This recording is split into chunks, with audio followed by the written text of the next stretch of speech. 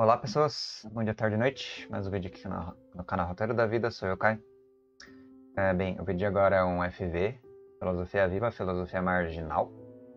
E esse tema da vez é um tema que eu que eu faço uma dinâmica na sala de aula, que no começo do ano eu fiz uma dinâmica, né? estou usando ela até agora para expansões é, das mais diversas, como por exemplo, é...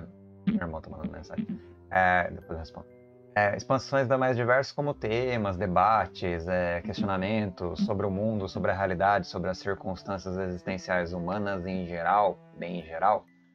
E eu uso de vez em quando esses temas para dar um diferenciada na aula, né? Ou, sei lá, guiar. O tema anterior, que foi o Quero Tempo, era um desses. E o tema da vez, que agora é o, no caso, o irmão tá precisando de mim, mas eu vou ignorar ele é, que agora o tema da vez é se aborto é errado. A formulação é essa mesmo. Aborto é errado? A pergunta que eu diria que poderia ter outra formulação. Porque o como você questiona muda a possibilidade de resposta. Eu estava debatendo isso em sala também, sobre outras perguntas, outras coisas, elaborando sobre, é, por exemplo, é, se usar mesmo a, a, palavra, a palavra não, a questão aborto errado para uma outra formulação, é, descreva o que entende por aborto.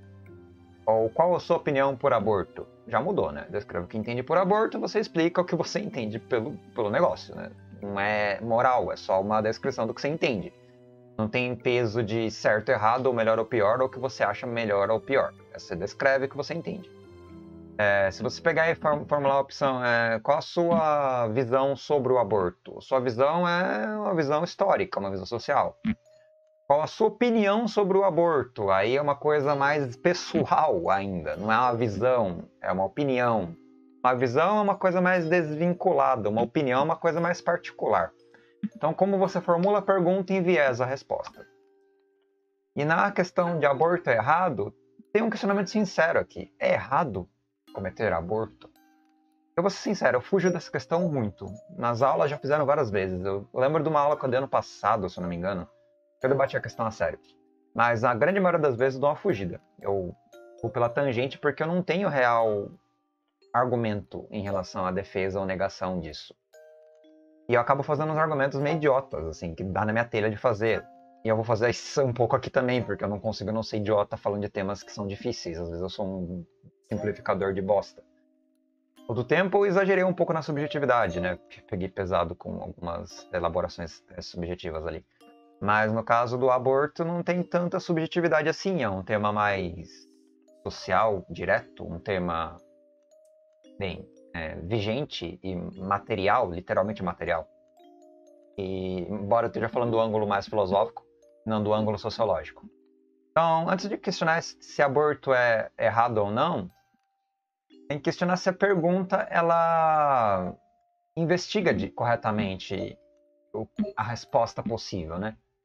Eu diria que é um questionamento válido, embora ele tente entender o que é o aborto através da negação ou afirmação de uma identidade ou uma característica, no caso, se é certo ou errado, se é positivo ou negativo, em relação a esse essa entidade, a esse conceito de, de que realiza e materializa um entendimento de realidade que é o ato de abortar. Hum. Quando você pensa em aborto no sentido estritamente social, ele pode ter peso moral.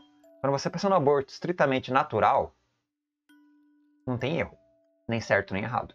Pessoas abortam por motivos de má formação do feto, por motivos é, biológicos, alimentares, nutrição, hormonais, por motivos de acidentes, é, que pode acontecer durante a gestação, por motivos dos mais diversos, como contaminação indireta ou por algum tipo de agente que envenena a pessoa, ou uma espécie de azar é, genético, sua genética não ser predisposta para gestação, entre inúmeras coisas que causam o aborto, ou mesmo é, que você pode dizer sobre isso? Se ele é existencialmente negado? Não, não é existencialmente negado. Se ele não é existencialmente ou cosmologicamente ou alguma coisa do gênero proibido, então ele não é errado existencialmente. Mas a questão não é se ele é errado existencialmente ou não. Ele é errado socialmente. E socialmente eu quero dizer o como ele é efetivado, né? Qual é o agente que causa o ato de, nesse caso, é, eliminação de um feto? Não estou dando que a eliminação é positiva ou negativa, estou dando que o ato é de eliminação. Eliminação, pode chamar de outro modo, em vez de eliminar como retirada, como a.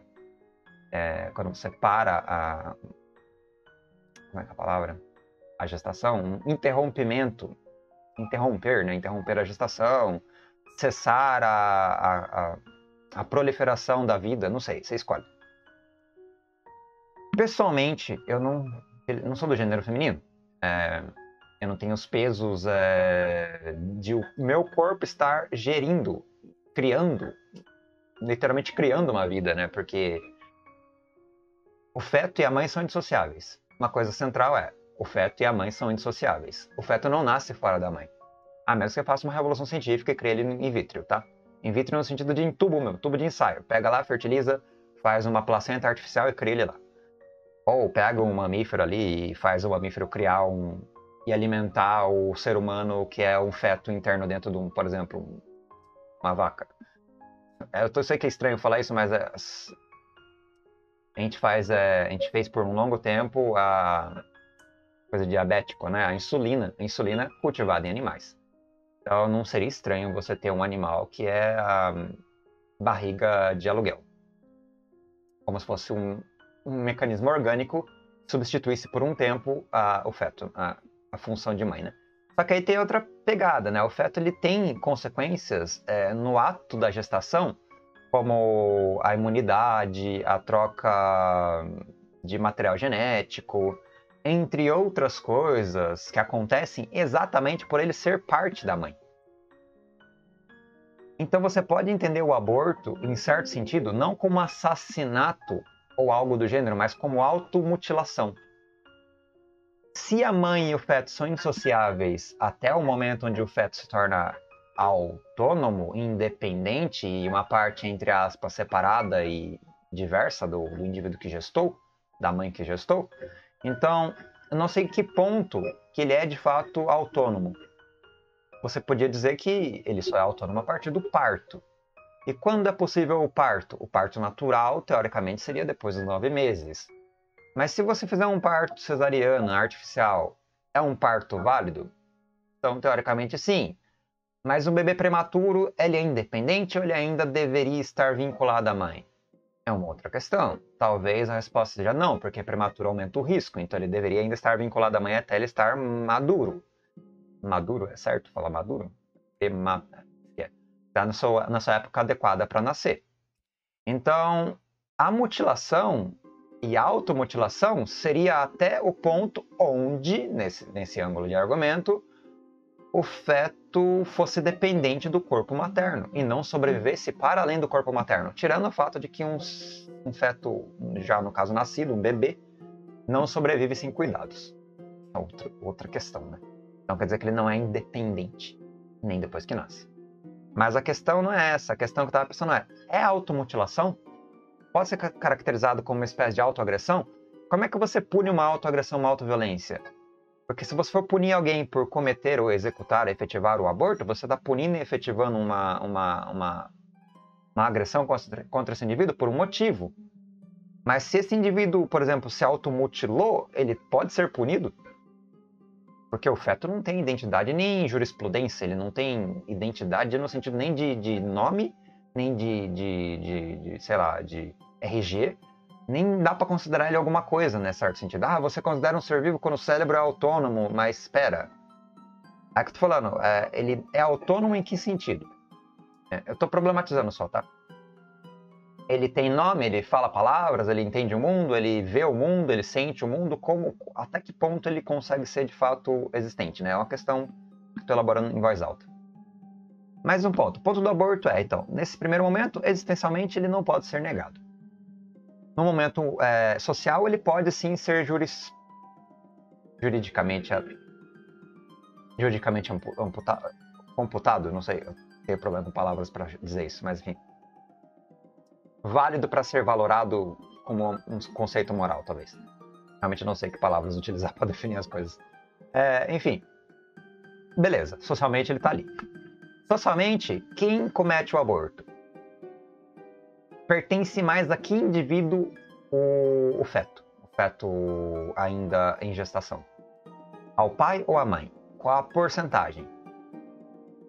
O DNA é meio a meio, né? Porque é 50-50. Mas a mitocôndria materna também tem esse detalhe, que é herdado só da mãe. Outra coisa que é herdado só da mãe é a própria gestação, incluindo algumas interferências da, do, do, da genética da mãe, que são influídas dentro da, da, gestação, né? Por causa do contato, né? Do feto com a placenta e com o sangue da mãe e o sistema imunológico, entre algumas outras características. Então ele tende a ser mais materno. E não tem como não ser mais materno, assim, mecanicamente falando, é, matematicamente falando, ele é mais da mãe do que do pai. Tirando a gestação em si, que eu estou ignorando, mas o ato de nove meses com certeza é mais da mãe do que do pai. Então, a decisão é de quem? Essa é uma questão. Qual a relevância da decisão paterna sobre o feto? Quem é independente na sociedade? Ela é maior, a mãe é maior de 18 anos ou não? Tem esse detalhe também. Tirando outros que eu vou debater daqui a pouco, que é estupro e outras coisas. Mas a mãe entre aspas, maior de 18 anos, é, independente, que não tem que prestar contas para ninguém, dentro do seu próprio corpo, expandindo o seu um corpo alheio dentro do corpo, que é como se fosse uma espécie, entre aspas, de câncer, bem entre aspas, tá? É, que pertence a ela. E essa coisa, essa massa de vida que está dentro dela, ela deseja retirá-la e descartá-la. Você pode punir a mãe por causa disso? É a questão que eu tenho que colocar. É a questão que eu estou colocando o vídeo inteiro. Entrando no âmbito social de regra de controle sobre o corpo alheio. Controle sobre o corpo alheio a gente sabe como é que funciona. Você aprende a falar, aprende a escrever, aprende uma cultura, aprende sua identidade, aprende a sobreviver também, a agir junto ao meio para ter êxito na sobrevivência. Aprende inúmeras ferramentas hereditárias, herdadas das, das gerações anteriores as quais não te pertenciam inicialmente. As ferramentas são cedidas para você. E essas, esse ceder das ferramentas é ceder a sua realidade, a sua identidade. Então, esse indivíduo materno que tem a identidade cedida pela sociedade pode ter o corpo controlado pela sociedade, porque aquilo que você dá, você tira de volta. Se essa pessoa tem um emprego, a sociedade dá um emprego para ela. Se ela não se comporta adequadamente no emprego, falta, é, é, não executa adequadamente os trâmites ali internos, não corresponde à eficiência, ela pode ser demitida. Demitida no sentido de eficiência junto ao emprego. E se essa pessoa não se comporta adequadamente junto ao pré-estipulado para o emprego, por exemplo, ela não usa roupas adequadas, não usa linguagens adequadas dentro do emprego, ela vai ser apartada do emprego. Moralmente falando, é um modo de você delinear o comportamento do indivíduo. Se o seu chefe tem uma moral e fala, é, eu sou cristão e eu acho que a vida é sagrada e o ato de aborto é um pecado. Se uma funcionária dele aborta, é quase como se fosse uma ofensa moral. Porque ela cometeu um comportamento que não tem vínculo necessariamente com a empresa, mas que impacta a empresa porque aquela empresa protege o indivíduo. E o indivíduo é regulado e protegido pela sociedade, incluindo o trabalho. Então, em parte, o patrão ele tem uma certa liberdade para negar o comportamento do indivíduo que por acaso quer abortar. No caso do feto, né? Mas é a mesma coisa que você pensar, olha, esse indivíduo aqui, ele é um funcionário, mas ele é racista. Ou esse indivíduo aqui ele é um funcionário, mas ele é pedófilo. Esse indivíduo aqui é um funcionário, mas ele é assassino. Você vai manter o cara como seu funcionário e protegê-lo, ou você vai gerenciar ele como uma moral social, da qual você é ali como um poder empresarial ou um poder é, específico garantido na sociedade, que você tem uma autoridade ali como chefe, alguma coisa do gênero, da qual você utiliza essa autoridade para limitar a liberdade dos, das pessoas que estão abaixo de você, que são seus funcionários. Quando você pensa no indivíduo na sociedade, a mãe na sociedade, mesmo que ela não esteja trabalhando para ninguém, ela é funcionária de quem? Quem é o patrão do indivíduo na sociedade? É a coletividade da, das leis. As leis são o que permite ou não permite que o indivíduo age de acordo com certos parâmetros. Levando em conta que um patrão pode demitir uma pessoa por comportamentos inadequados, ele poderia sim, embora seja aí depende da justiça mais ampla que controla os comportamentos do patrão, aí é uma outra coisa, é uma justiça trabalhista. Mas a justiça, antes de levar a justiça trabalhista, tá, tá em voga, né? Só a justiça do patrão, como se ele fosse a própria justiça trabalhista. A priori, ele poderia, sim, definir os destinos dos funcionários a partir do comportamento dos funcionários. Então, tem um esquema que se chama é, o sistema jurídico de proteção ao trabalho, ou de proteção à existência, proteção às liberdades individuais, liberdades não sei o que lá, que garantem junto às leis que certas ações individuais possam não ser aceitas de acordo com as normas coletivas. Se o aborto ele é proibido de acordo com as normas coletivas, ele não é protegido segundo a lei, quer dizer que o indivíduo que comete um, um equívoco, uma liberdade, no caso a mulher que faz isso e aborta, ela está submissa e subalterna às vontades daquele que pode exercer sem nenhum tipo de peso na consciência a sua vontade porque a lei não impede que ele faça isso. Ou seja, o patrão pode demitir a mulher porque ela abortou. É brutal. Então, se você não tem uma jurisprudência que gerencia acima dos mecanismos trabalhistas é, a liberdade do corpo alheio segundo um corpo social coletivo, que você entenderia por, sei lá, liberdade do aborto, e aí os mecanismos jurídicos para garantir que esse ato seja válido, então, esse indivíduo que se comporta erroneamente na sociedade, ele é visto como um indivíduo é, criminoso, como um indivíduo é, pecaminoso, decadente, errado. Então, nesse caso, o que define se o aborto é errado ou não é exatamente que tipo de valor a sociedade preza, que tipo de valor a sociedade constitui e que tipo de regras ela estipula para serem universais e coletivas. E aí que tá. O aborto é errado? Depende. Depende do que? Das regras da sociedade. E se as regras forem religiosas, como é que a gente faz? A gente submete às regras? Ou a gente tenta lutar contra as regras? Se a gente submete às regras em um primeiro momento, é que nem pensar, por exemplo, no século XIX, onde a gente trabalhava 18 horas por dia, 16 horas por dia, não ganhava quase nada, não tinha alimentação, não tinha estabilidade, não tinha aposentadoria. Você quer viver num mundo onde a sua liberdade é totalmente definida pela, pelo poder alheio e você é um quase escravo, semi-escravo? Acho que a gente não quer isso, né? Ninguém quer trabalhar 18 horas por dia. E você quer que controlem a sua liberdade em relação ao seu próprio corpo, por exemplo, o que você come, o que você veste, ou como você fala dentro da sua casa ou em âmbitos de amizade, é, sem hierarquia, em âmbitos de igualdade?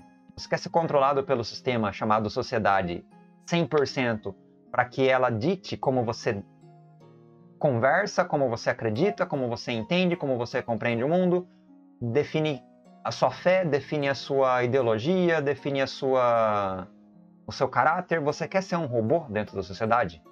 Você quer ser uma, uma, uma, uma espécie de resultado de uma fábrica, uma fábrica cultural? Você quer isso? Como se fosse um carro, um produto na sociedade, um objeto na sociedade? A linha de montagem é que molda e determina que você tem que ser aquilo. Se você não quer ser isso, por que, que você quer exercer isso em direção ao outro, né? A questão. Por exemplo, o outro que tenha liberdade, individualidade e independência através do que você entende por livre-arbítrio, entre outras coisas, que é um dos valores é, contemporâneos ocidentais, fazer assim. Esse indivíduo com esse, esse parâmetro de valores, que tem de fato algumas potências de ação, até onde você pode interferir na, na, no comportamento dele ou na, nas escolhas dele. No caso de como ele se veste, como ele se comporta ou o que ele faz com a coisa que está dentro do corpo dele. Se ele querer tirar um, tirar um rim dele, tirar um dedo, amputar uma unha, é, ele tem essa liberdade ou não? Ah, não, ele é categorizado como uma pessoa insana, para além do juízo.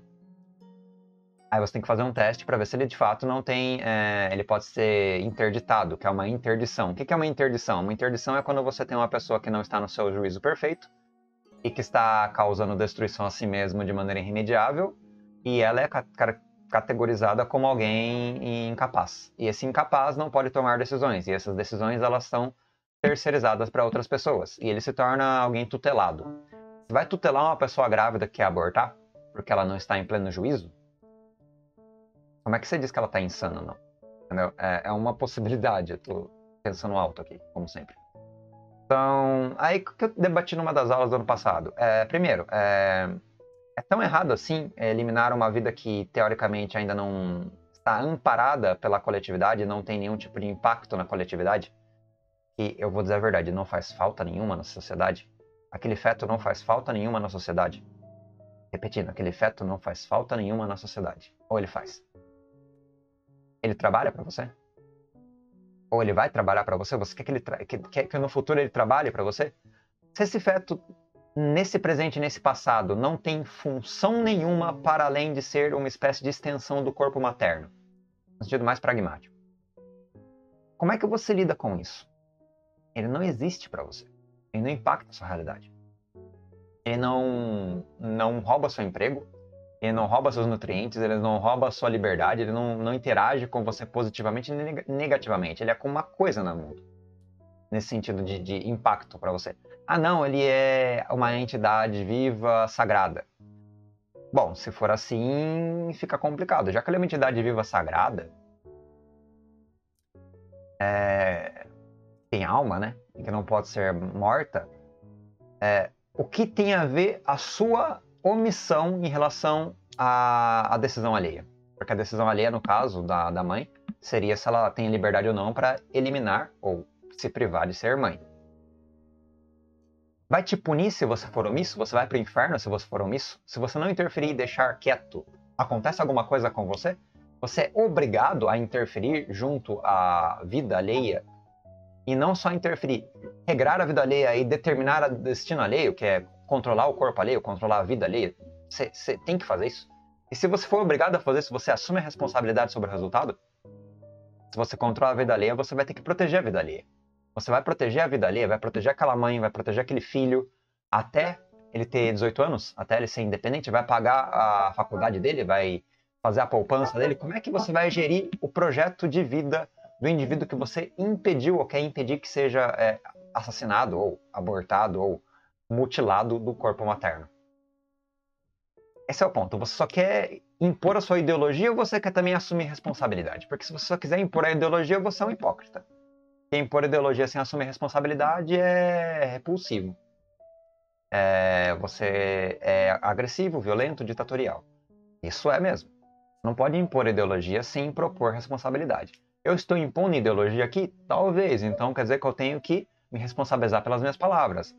É, então eu tenho que ser, no mínimo, coerente com as minhas palavras. E nesse sentido, se caso eu tiver um filho, eu não vou abandonar o meu filho. Eu vou cuidar dele. Eu vou pagar as contas, eu vou propor um futuro, eu vou pagar a faculdade se possível, eu vou pagar a escola se possível. Não sei se precisa pagar essas coisas. É, porque tem faculdade pública. Escola também é de graça.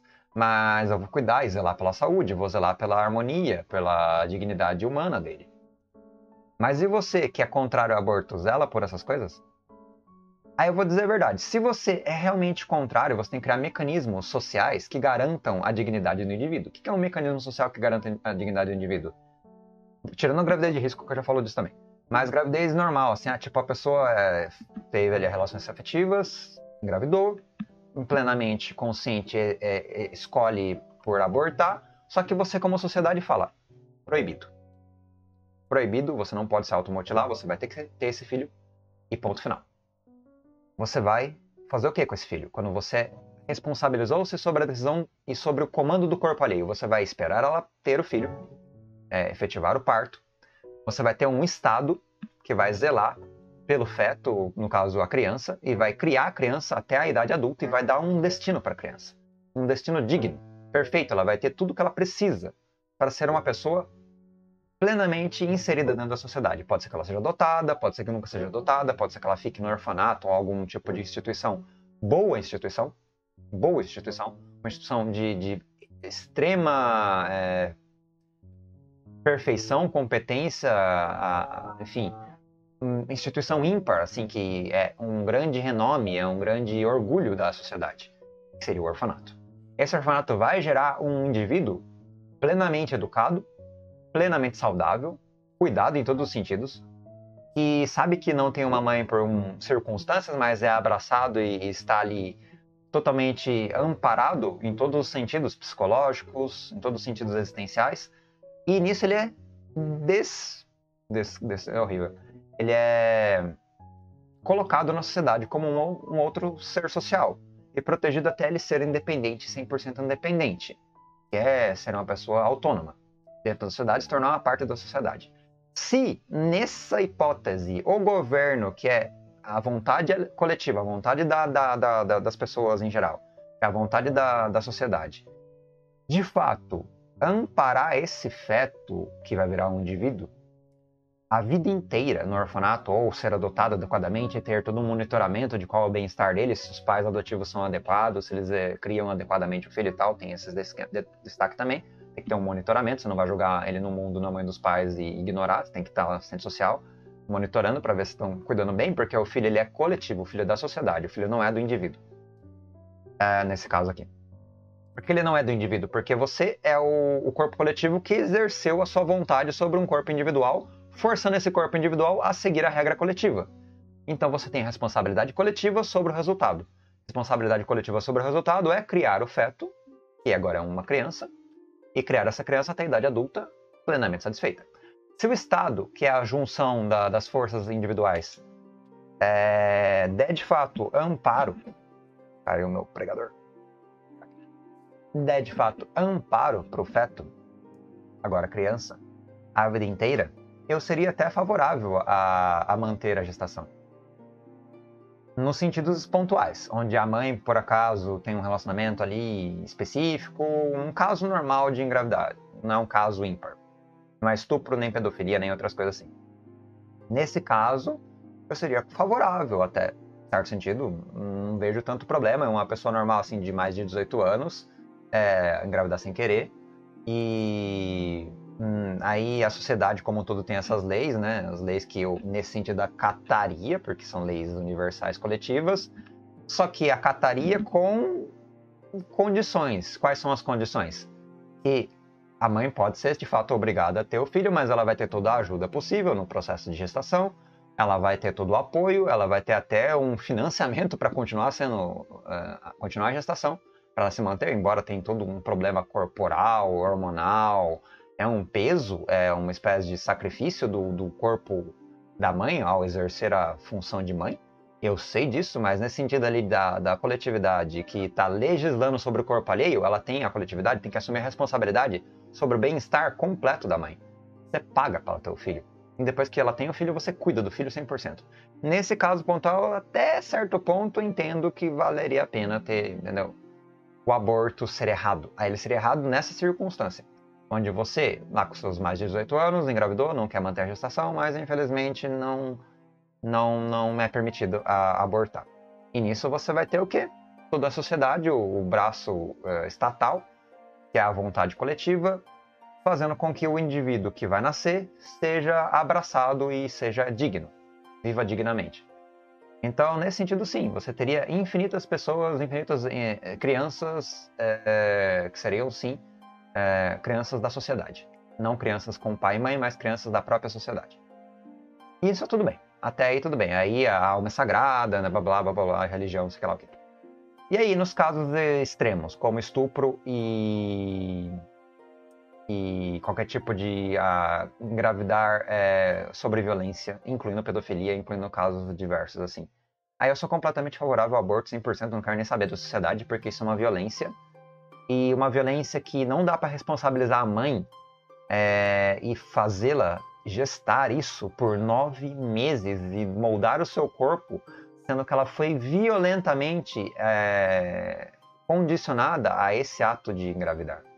E nisso, sou completamente favorável que ela sim se automutile para se libertar de, uma, de um trauma, para se libertar de uma circunstância. E nesse sentido, ela sim deveria ter todo o apoio do Estado para ir numa clínica adequadamente é, instrumentalizada e efetivar a retirada de uma parte de si mesma que ela não deseja. Aí você pode pensar, mas como é que a gente vai dividir o que é estupro o que não é? Bom, aí tem que ter uma legislação sobre o estupro. Ah, o indivíduo que estuprou tem que ser violentamente punido. Então, se uma pessoa ali tem uma relação depois dos 18 anos e fala que engravidou e quer abortar, aí finge que foi estuprada, você faz um exame de DNA, você descobre quem é o pai, e o pai tá ferrado. Porque ele é estuprador, ele é um criminoso. Então ele se lasca. E se a pessoa fizer isso com alguém que ela odeia, porque é um ex-namorado, não sei o que lá, e ela tá vingando-se desse cara? Isso é complexo. Muito complexo. Porque a pessoa, sim, a mãe pode, sei lá, querer sacanear o cara, e falar que foi estupro e prisioná-lo e tirar a liberdade dele. Então, pra você ver como o negócio vai longe, é dificílimo, é um tema absurdamente difícil. Então, o ponto é, errado ou não é errado? Depende. Depende do que? Da vontade social. Tem como a vontade social gerir o erro? Tem. Como é que ela vai gerir o erro? Tomando responsabilidade sobre o resultado. Se ela considerar errado. Se não for errado, aí você tem que fazer o quê? Você tem que dar, assim como assistência de saúde quando você está gripado, assistência de saúde quando você está com câncer, você tem que dar assistência de saúde para um indivíduo que tem uma parte dentro de si que não deseja, assim como um procedimento estético, um procedimento é, é, de liberdade individual sobre o próprio corpo, ou sobre, por exemplo, eu quero ler um livro, você tem liberdade para ler um livro. Eu quero amputar um dedo, você pode amputar o seu próprio dedo. Eu quero amputar um feto, você pode amputar o próprio feto. É, enfim, você pode tirar do seu corpo e isso é aborto. Se não tem problema e não é errado, você pode fazer isso. Eu sei que eu deixei em equilíbrio e em equivalência atos bizarros.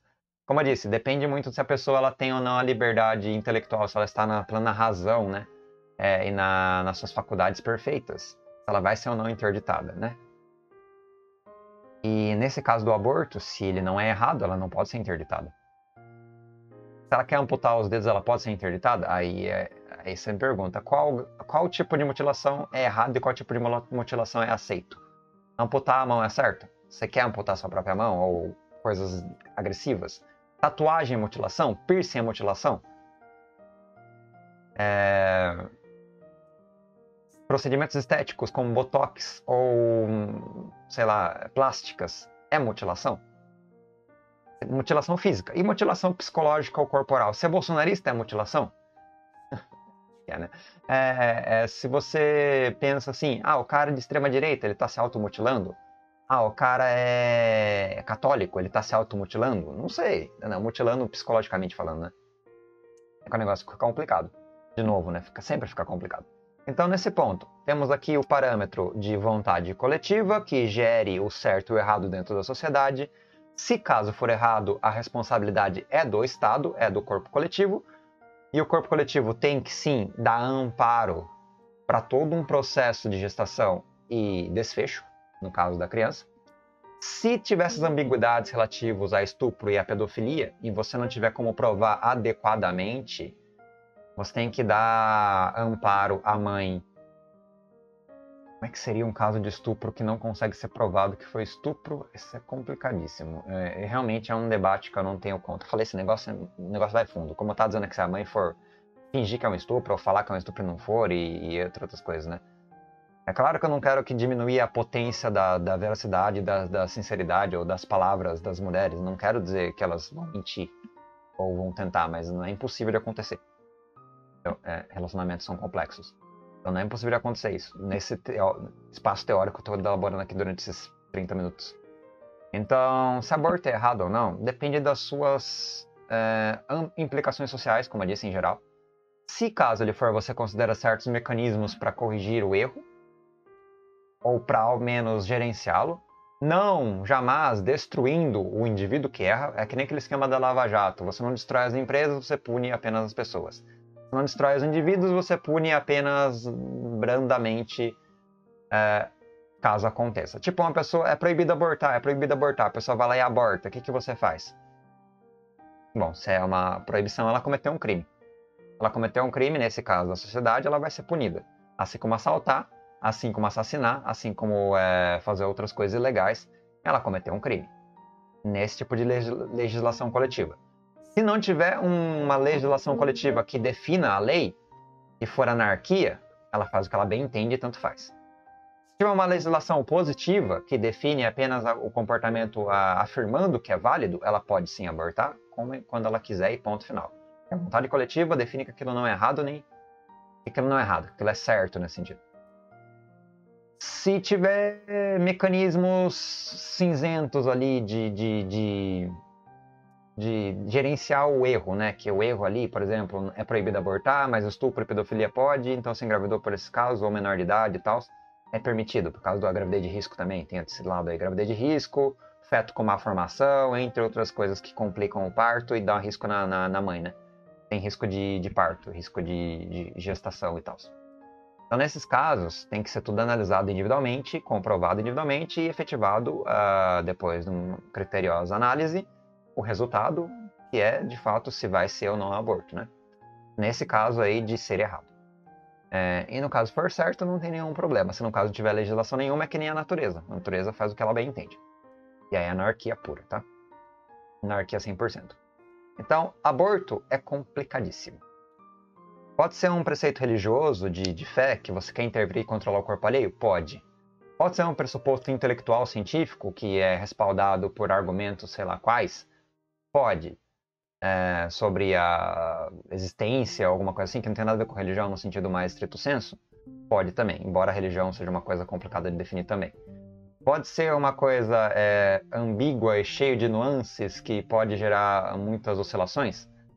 Pode. O que você faz com as pessoas que cometem um erro, um erro não, que cometem um crime? Você infelizmente tem que puni-las. Então, né, claro que ela tem que ser maior de 18 anos e todas as circunstâncias têm que estar favoráveis para que a punição seja adequada. Que é o que você entende por justiça, né? Que você entende por sistema judiciário, aliás. Então tem todas essas complexidades. Por que eu tô falando tudo isso aqui? Porque é um tema que eu queria realmente falar sobre essas abordagens, abordagens ângulos, né? É um tema que eu fujo pra cacete. E eu falei um monte de coisa que tá meio estranho aqui. Eu não, não tô confiando em nada do que eu tô falando aqui. Eu tô falando uma teoria de se é errado ou não e por que errado é complicado. Porque errar não é errado, no sentido de, de conceito, né? De, de significado do erro. E se errar fosse errado, a gente nem existia. Porque humanos não sabem descobrir o certo sem errar. Não tem como descobrir o certo sem errar. Sempre que você tem um certo, você tem o contraste dele, que é o oposto dele. Se uma coisa é certa, outra tem que ser errada. Se uma coisa é verdade, outra tem que ser mentira. Se uma coisa é verdadeira, outra tem que ser falsa. Então, se você definir um erro, automaticamente você tem alguma coisa em contraste. Se você definir um acerto, depende de como você define um acerto. O acerto não necessita do erro. Se, por exemplo, você diz que abortar não é errado, tá tudo bem, então você vai lá e aborta de boas tem clínicas e tal, tem mecanismos sociais que garantem isso, ou mecanismos adequados que garantem isso. E se você não abortar, também não é errado. Não é como se, ah, já que abortar não é errado, então ter filhos é errado? Em contraste, não. Então quer dizer que todas as mulheres que engravidarem devem abortar, já que abortar não é errado, e não devemos mais ter descendentes? Não. Entendeu? Não é assim que funciona. Agora, se for errado, a premissa de que toda aquela que engravida numa situação circunstancialmente adequada, deveria manter a gestação, aí sim. Porque o erro ele impede, ele regra a realidade. O, o acerto ele não necessariamente regra a realidade. Ele apenas valida uma coisa junto à realidade. Entendeu? É, e essa validação ela não necessariamente precisa de um contraste negativo para justificá-la. Ela se torna um tanto quanto natural, assim. Abortar faz parte. Então, toda vez que eu tiver um filho ou estiver grávida, eu posso escolher entre abortar ou não sem peso na consciência porque é neutro e é nulo. Nesse sentido, de que, é, nesse caso, nessa, nessa hipótese de que não seria errado. Seria totalmente compreensível, aceitável e comum, como em alguns países é. Então, é uma legislação cultural, social, que define a nossa verdade sobre o corpo alheio. Se a gente não gerenciar o corpo alheio, o outro tiver liberdade de fazer o que ele bem entende, tudo bem, se a gente gerencia ele de um, maneira específica em momentos específicos e outros momentos não gerencia, faz parte também, porque é assim que funciona a sociedade. Tem coisas que a gente gerencia, tem coisas que a gente não gerencia. A gente não, não tem como sair de uma espécie de, de, de autocontrole um do outro, de, de, é, de vigilância constante um sobre o outro e de interações que têm consequências um com o outro, né? consequências das mais diversas, porque a gente está assim moldando um ao outro segundo a nossa identidade e imagem e acertando as contas em contratos sociais, são acordos de comportamento o tempo inteiro. Esse acordo de comportamento é sim gerência sobre o corpo alheio, gerência sobre o comportamento alheio, gerência sobre a existência alheia. Então é normal ter esse tipo de gerência. O ponto é até onde ela se estende, como ela se estende e como a gente pode justificar essa extensão e essa abrangência dessa gerência.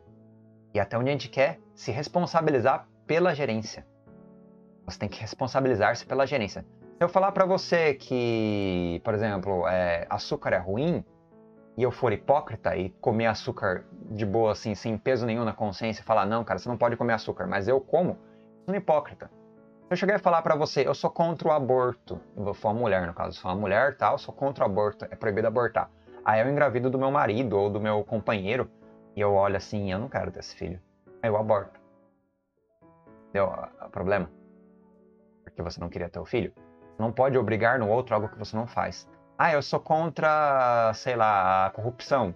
Aí você vai lá e tem as corrupções comuns do dia a dia, cortar fila, roubar um dinheiro aqui, fazer um esqueminha ali, umas gambiarra na sociedade, que a gente conhece gambiarra básica do dia a dia, né? A gente é assim.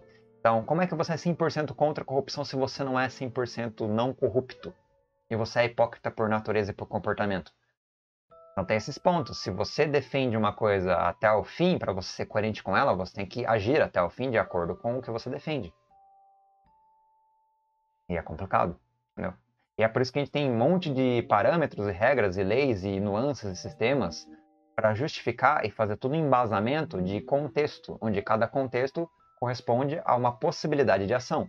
Se o feto está mal formado, se a, mina, a gravidez é vítima, a mulher que engravidou é vítima de estupro, se é pedofilia e, e, não pode ter a gestação porque é risco, ou porque foi pedofilia, foi estupro também, e, entre outras coisas que causou a gravidez, a gente faz toda uma argumentação, uma jurisprudência sobre o caso e toma decisões respaldado nisso, tendo um equilíbrio e um acordo coletivo.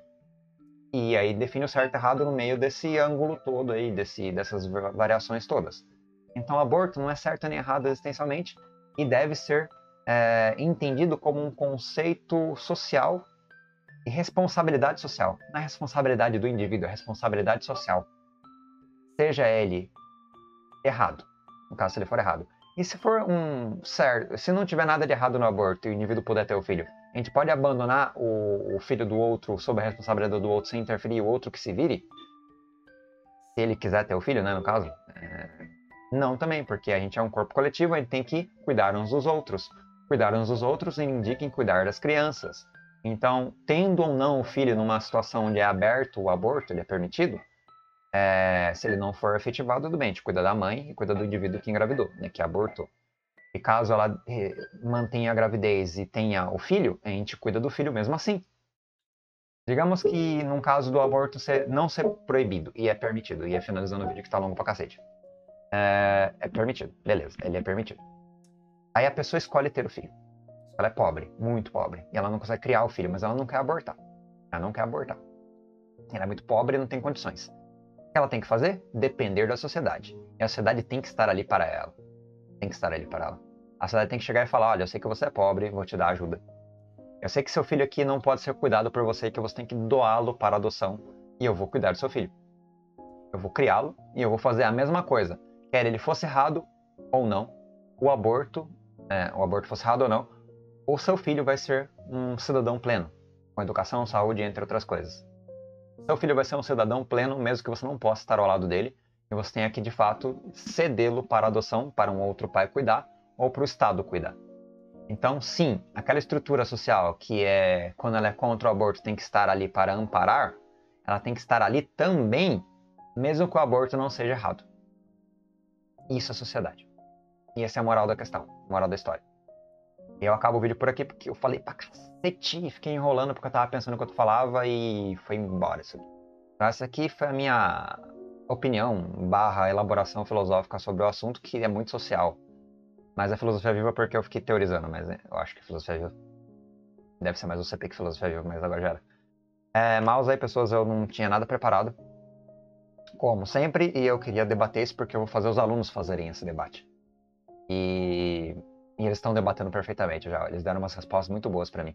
Então é uma circunstância extremamente complexa. Eu não dei conta do assunto como um todo. Tem vários detalhes aqui que eu não falei, várias nuances. Mas posso fazer outros debates, outras oportunidades também, né? Mas por enquanto é isso. Obrigado por me ouvirem. E mouse aí porque eu falei muito. Perdão, cara. Me exagerei. Exagerei mesmo. Mas era mais para elaborar essa temática complexa, beleza? Falou aí, galera. Até mais. Valeus.